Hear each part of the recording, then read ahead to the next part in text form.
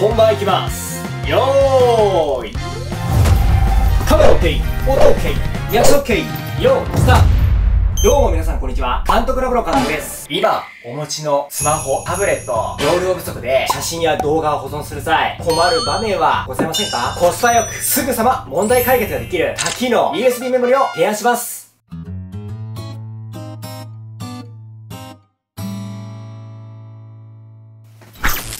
こちらでございます。表、裏、超軽いです。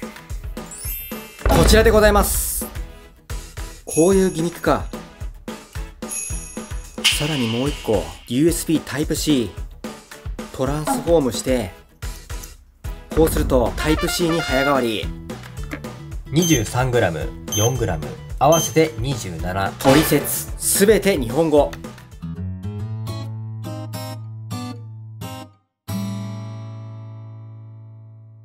多機能対応について、このメモリ、ライトニングタッチ、USB Type-A、Type-C、差し込み口に対応しています。iPhone、iPad、MacBook、Android、タブレット、PC、そのほとんどの機種に互換性がございます。ネット環境がなくても、こちら、さっと差し込むだけで、写真や動画ファイルなど、様々なデータのやり取りを簡単に行うことができます。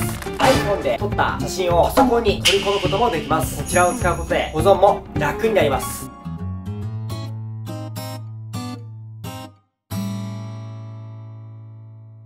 こちら、なんとパソコンなしでバックアップが可能です。写真の複数選択、全選択も簡単にできます。監督はですね、iPhone 14 Pro なんで、今回はこちらで繋げていきたいと思います。では差し込みます。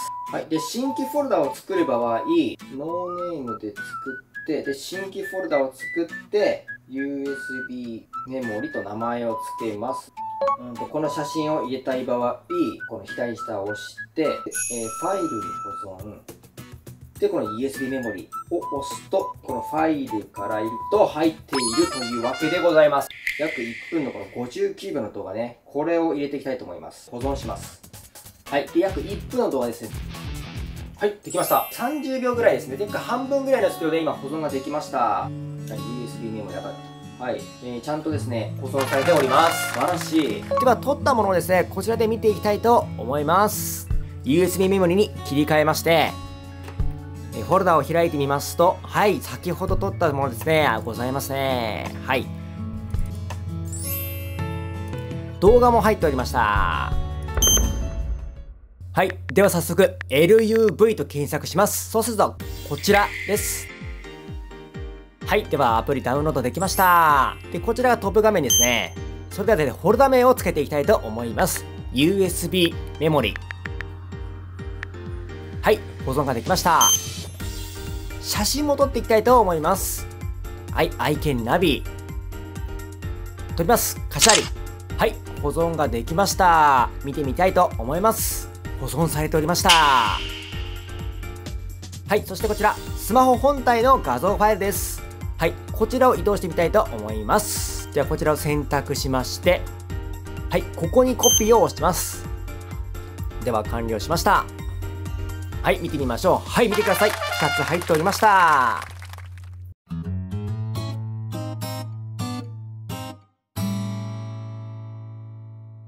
いかがだったでしょうか？今お持ちのスマホやタブレットで写真、動画による容量不足でお困りの際、すぐさま問題解決ができる 128GB のメモリです。お求めやすい価格設定でコスパが良く、データの移動、アクセスがとても簡単にできる商品です。こちら、興味が出てきましたら、ぜひ詳細をご覧ください。監督ラボの監督でした。また次の動画で会いましょう。これ、パソコンなしでもできるってすごい商品だ。本番いきます。よーいなんかいろいろすげえな。こちら、さ、さまざまなデータのやり、iPhone の写真をパソコンに取り込む。では、録画いきます。ここからは録画します。